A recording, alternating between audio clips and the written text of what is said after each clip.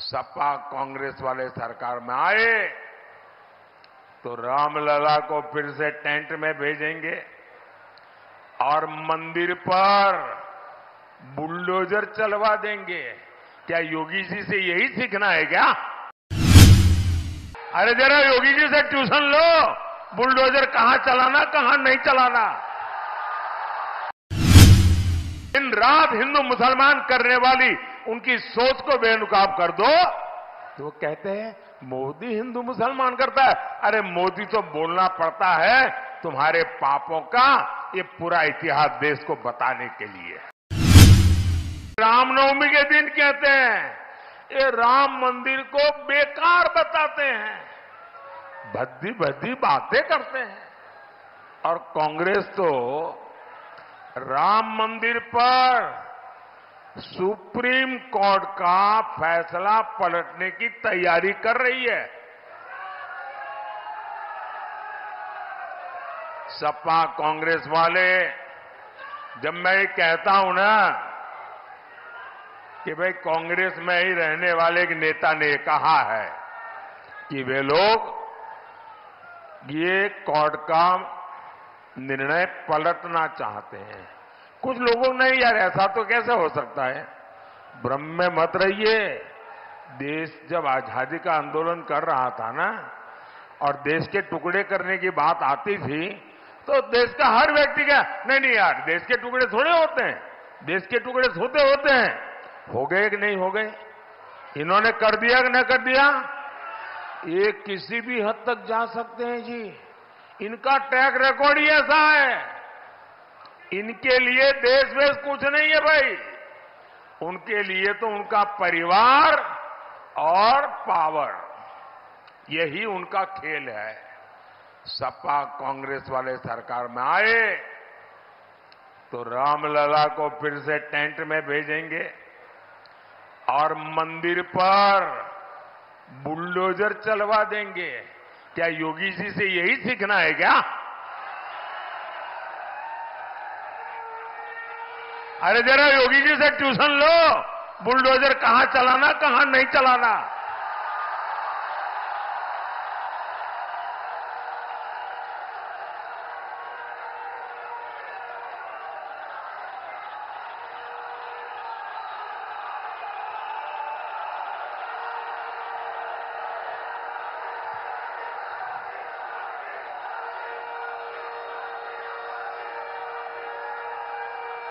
साथियों, ये चुनावी सभा के लिए मैं कहने के लिए नहीं आया हूँ।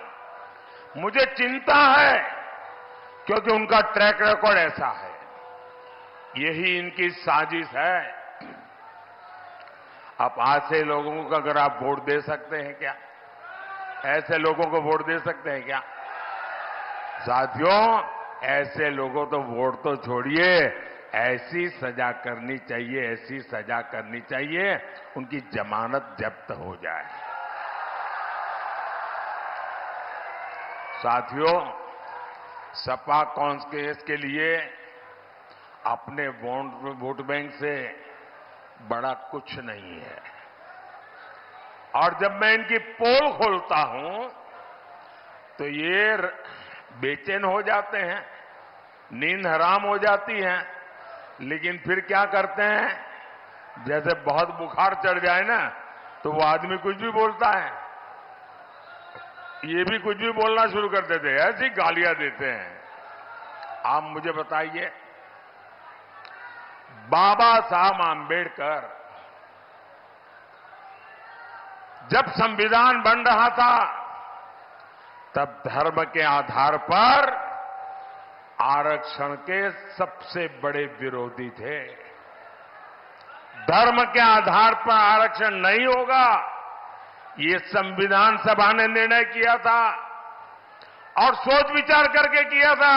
अरे इतने ही नहीं, इनके परनाना ने भी धर्म के आधार पर आरक्षण का विरोध किया था। लेकिन 10 साल पहले यहाँ यूपी में इन लोगों ने धर्म के आधार पर आरक्षण देने की कोशिश की थी। और कर्नाटका में तो कर दिया। कर्नाटका को उन्होंने अपनी लेबोरेटरी बनाया है। इन्होंने कर्नाटका में क्या किया? जितने मुसलमान थे, उन सब मुसलमानों को रातों रात ओबीसी बना दिया। थप्पा मार दिया, कागज़ निकाल दिया। अब जो ओबीसी को आरक्षण मिला था, उसमें से बहुत बड़ा हिस्सा ये लूट करके चले गए और लोग वहाँ हाथ घिसते रह गए। क्या यहाँ आपका आरक्षण कोई लूट जाए? आपको मंजूर है क्या? क्या आरक्षण लूटने देंगे क्या? क्या ओबीसी का हक छीनने देंगे क्या? क्या एससी का हक छीनने देंगे क्या? एसटी का हक छीनने देंगे क्या? अरे बाबा साहब आंबेडकर ने जो दिया है, उसको कोई हाथ नहीं लगा सकता है। और बिहार के इनके चारा घोटाले के जो चैंपियन है ना, अदालत ने जिनको सजा फरमाई है। अभी जेल से तबीयत के बहाने बाहर घूम रहे हैं। वो तो यहाँ तक कह रहे हैं कि पूरा का पूरा आरक्षण अब मुसलमान को मिलना चाहिए। अब मुझे बताइए, इसका मतलब दलित, आदिवासी, पिछड़े, ओबीसी, इनके पास कुछ बचेगा ही नहीं भाई। मैं आपकी रक्षा करने के लिए, आपके अधिकारों की रक्षा करने के लिए 400 पार माँगता हूँ आपसे।